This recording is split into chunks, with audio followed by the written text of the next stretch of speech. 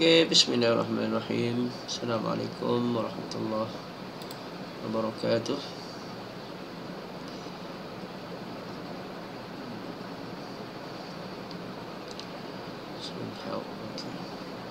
Okey, malam ni kita nak saya nak akan kongsikan beberapa kaedah untuk design eh, design in PLC terutama dalam topik 4 ataupun 5 bagi kursus PLC Automation bagi pelajar-pelajar saya di Politeknik Sultan Azlan Shah. Uh, InsyaAllah. So basic fundamental kita gunakan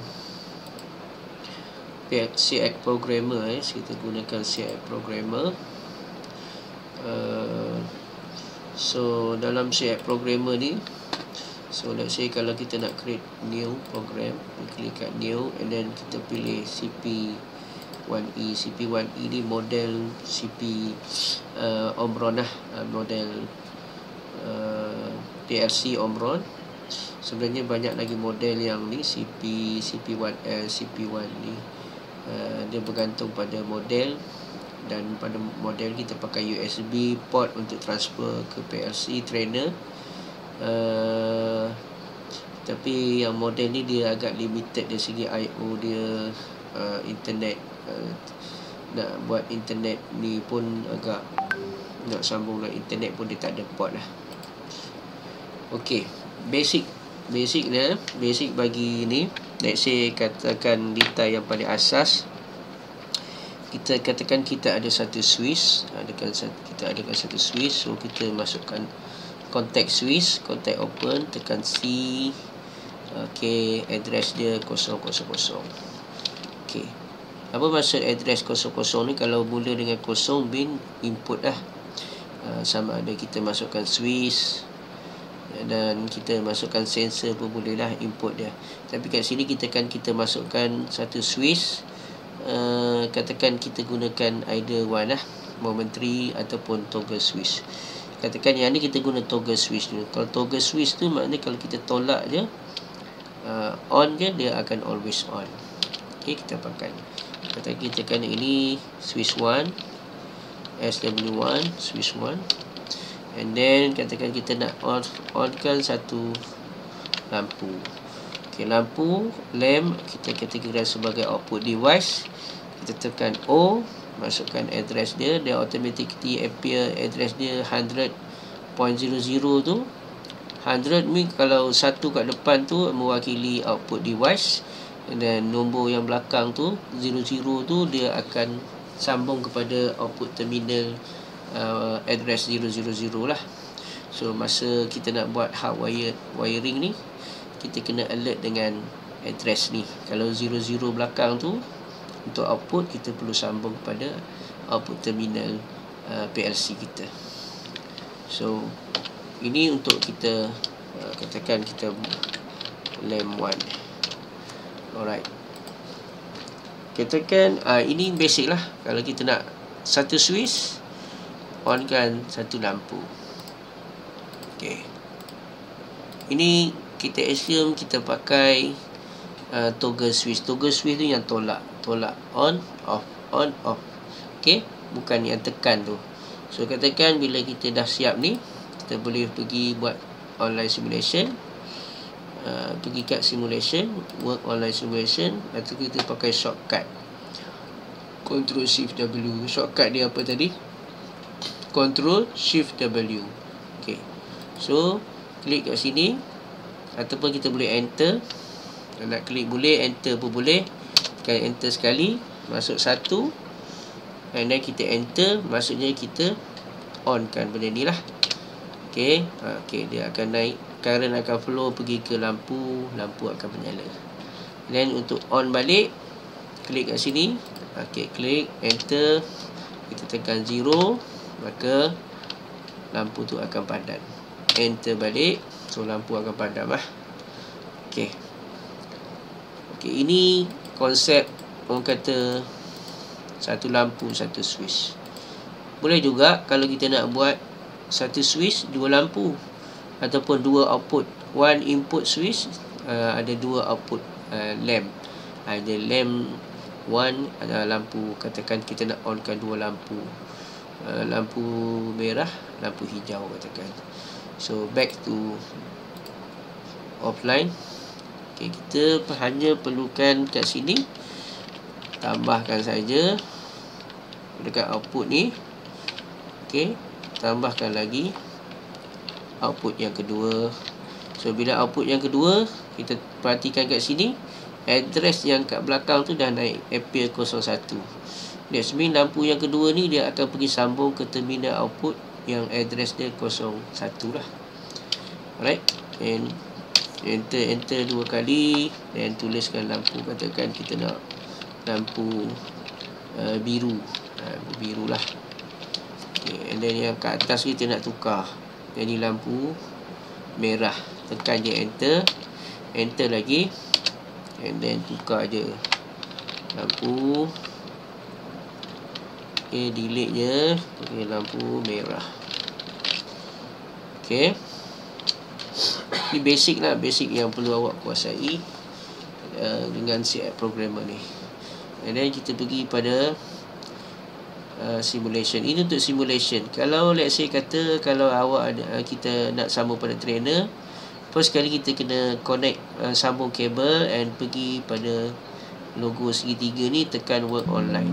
Okey tapi sebab uh, PC saya ni tak ada sambung pada trainer dia takkan dia akan uh, connect ni do you wish ni? Katakan ni kita tekan yes tapi sebab kita tak ada connect dia akan naik mungkin dia akan naik warning lah dia select port does not exist mana saya tak ada sambung. So kita tak boleh nak transfer benda ni kepada PLC so pergi control shift W kita try control shift W. Sorry.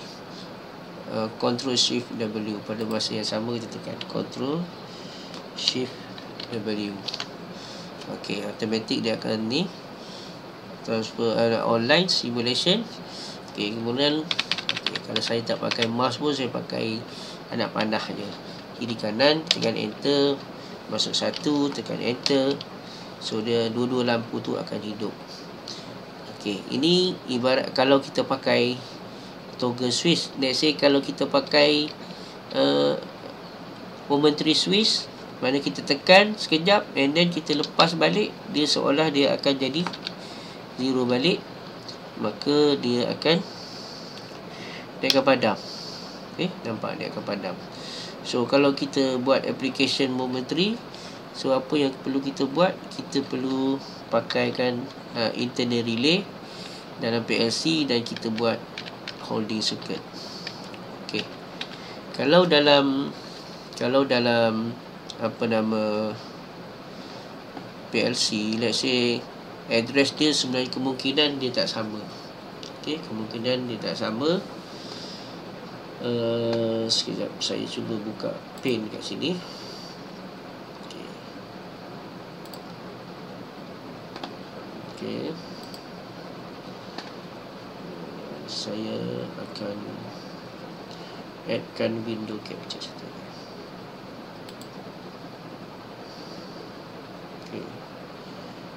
sini yang kedua okey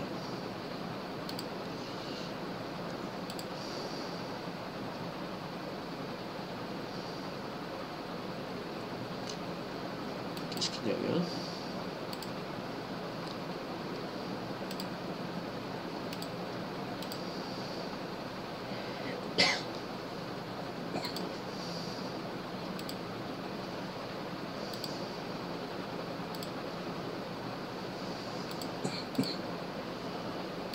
sini kedua tak dapat pakai sini satu.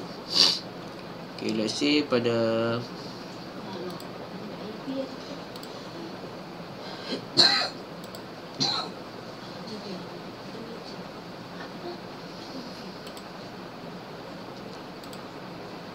saya kata katakan kita tadi ibaratnya adalah kita ada satu lampu. Okey satu lampu. Ada satu switch. Akan onkan satu lampu. Okey ataupun dua lampu. Kalau kita nak buat ni S1 biasanya dalam address dalam ni kita akan pakai 5 angka yang ni kita akan pakai 1000 1000 1000 itu L1 Okey, terbalik eh biasanya nama uh, nama atas address kat bawah. Okey, ini kalau kita buat uh, lukis uh, draw ladder diagram dalam jawab pixel lah. Tapi dalam CX programmer dalam CX programmer lain. Lain sikit address dia.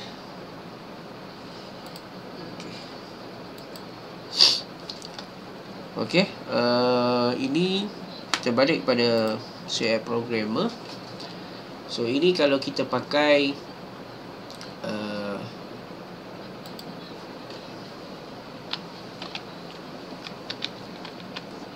Kita pakai inilah uh, Toggle switch Let's say macam mana kita nak buat uh, Holding circuit? Nak buat holding circuit Untuk kita Ada button set atau reset button Untuk kita on and off Okay Pakai dua switch Kalau yang ni pakai satu switch kita pakai toggle switch macam mana kalau kita nak uh, nak pakai toggle switch zoom in alternate right. Alternate right. Ok Ini besar sikit. So kat sini kita back work on simulation yang ni kita padam ke bawah. So kalau kita nak pakai buat switch start and stop tekan kita PB1 kita ni tukar kita buat tekan start. Ataupun set kita mesti ada satu button reset eh. reset kita pakai load node ataupun kita boleh kata juga sini ada stop button okay. reset stop button And kita perlu pakai kat sini internal relay. Kalau internal relay kebiasaannya dalam PLC dia akan kita tak pakai address 100, kita akan pakai kalau CP1E kita pakai 200. Okey, 200 maknanya CR apa coil relay lah. Ataupun kita boleh pakai relay coil juga. CR. Okey, kemudian kat sini. Ha, kat bawah ni kita perlu masukkan satu latching latch yang kita pakai contact 200 alright. So macam mana lita ni boleh beroperasi? So dia basic sama macam relay mechanical relay operation. Ini adalah coil relay. Okay, kalau dalam practical 1 dulu kita pernah buat pakai mechanical electromechanical relay. Ni coil relay ini dia namakan contact relay. Let's say operation dia bila kita tekan start kita set satu sini. So current akan flow pergi pada relay relay akan energize contact relay akan close. Pada masa yang sama bila kita dah lepaskan start button dia akan kembali pada zero kat sini current tak ada Okey, tapi at the same time current akan flow ikut bawah ni, ikut latching, contact relay akan supply uh, current kepada coil relay, coil relay maintain energize. Sehinggalah macam mana kita nak stopkan benda ni? Kita tekan reset. Okey. Uh, initial condition dia close, bila tekan satu dia akan open. Tapi kita tekan sekejap je. Uh, kita tekan sekejap, bila kita release balik dia akan back pada uh, zero balik. Dia akan close balik benda ni. Tapi current tak dapat. Current tak akan pergi kepada coil relay dah. Ok sebab dia dah putus tadi. Sebab sini pun dah contact relay pun akan open balik. So solita ni dia sangat banyak application dalam application kita untuk katakan kita nak onkan conveyor nak on off aircon dan sebagainya sebab dia ada uh, reset button safety switch kat sini. Okey. So contoh satu application yang mudah macam mana kita nak pakai benda ni. Katakan kita nak onkan satu motor dan kita nak offkan satu motor. So mari kita tengok off work offline dulu. Okey. And then kita akan gunakan apa nama kita akan gunakan contact relay ni sebagai uh, switch lah juga sebagai switch untuk kita uh, onkan motor. Okey. Masukkan satu motor. Motor is output device bukan O. So alamat dia 100 kosong enter motor uh, satu katakan. So bila kita katakan dalam application katakan motor ni katakan akan menggerakkan conveyor. Okay, motor satu ni akan menggerakkan conveyor ke hadapan. So kita tulis motor one uh, slash uh, forward okey betul. Forward. Okey uh, akan menggerakkan conveyor lah ke hadapan forward. So uh, simulation work online. Tekan start. Masuk satu set. Okey nampak? Kemudian kita kalau kita kita matikan kat sini pun dia still on. Sebab ini kita namakan holding circuit So pada sekarang Kalau kita tengok Dalam litar ni Motor ni on Maksudnya motor conveyor ni Tengah bergerak ke hadapan lah. Ha, Tengah bergerak Ke hadapan. Okey Macam mana pula Kalau kita nak Buat satu conveyor Yang dia akan Boleh bergerak Forward and reverse? Forward and reverse. Okey Dalam contoh yang ni saya akan buat satu contoh yang apa motor conveyor menggunakan dua motor bagi awak senang faham tu. Maknanya kita tekan start uh, dia akan gerak forward and then satu lagi cukup masa nanti uh, kita akan guna pemasa lah. Okey. Pada katakan ataupun kita gunakan satu sensor untuk menggerakkan uh, motor 2 uh, bila sensor tu dapat detect barang motor satu stop dan motor kedua pula akan gerak.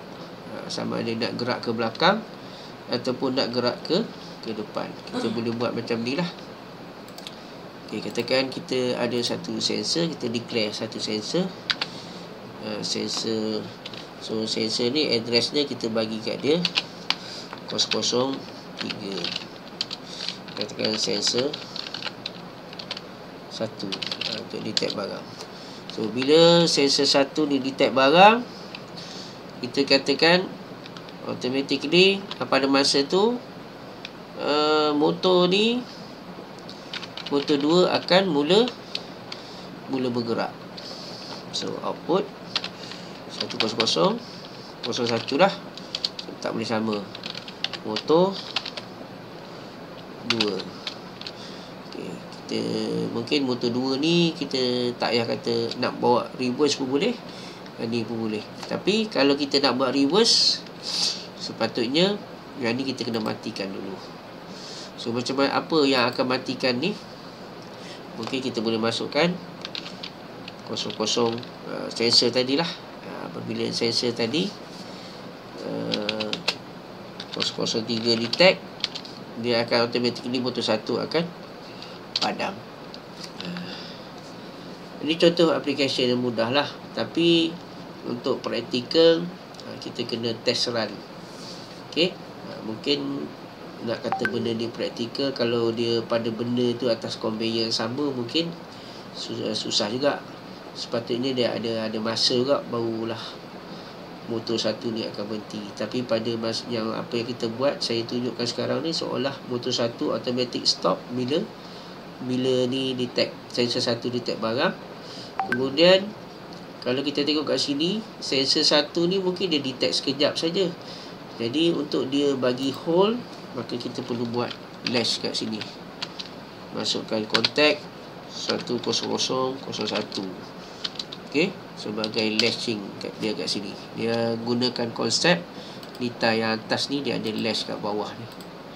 So bila yang ni ada current supply current ke sini kontak dengan motor ni akan hold dan dia akan menghidupkan always on motor 2 sehinggalah mungkin kita tekan reset button. Uh, untuk kita ni buat reset button mungkin kita boleh masuk uh, sama ni address contact 200 kat sini. Jadi kena kena close. Ok mari kita tengok dulu benda yang simple dulu. Takut awak semua nanti pening. Ok nak kata dia praktikal kita kena tengok pada application kita. So masuk satu set uh, off balik. Sebab dia momentary switch dia still on. Motor satu sekarang tengah running kemudian kita sekarang hantar barang sampai kat sensor satu detect. Ini akan uh, naik satu maka bila kita set automatic motor satu akan off. Ok pada masa yang sama kita tengok ok kenapa dia oh ok silap. Saya silap patut sini open. Tukar dulu. Open enter sama. Okey. Okey.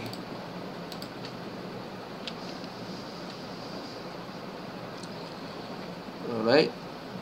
Hmm, simulation. Work online. And then mau kita start? Satu no no no no no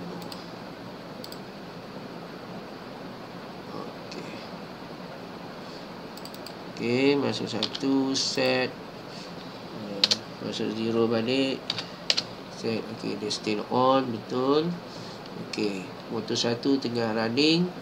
Bila sensor satu detect barang, okay, dia akan matikan motor ni, hidupkan motor dua.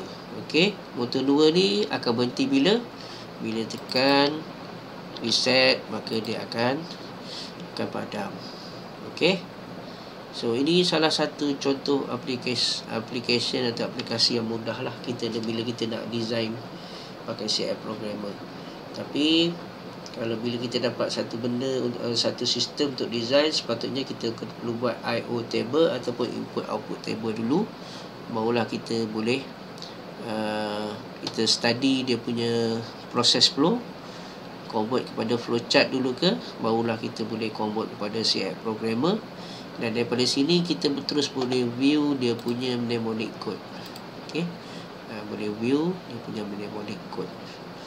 So saya rasa sekian saja untuk kali ini. Insyaallah pada akan datang kita akan saya akan kongsikan lagi macam mana nak design uh, PLC application guna CI programmer.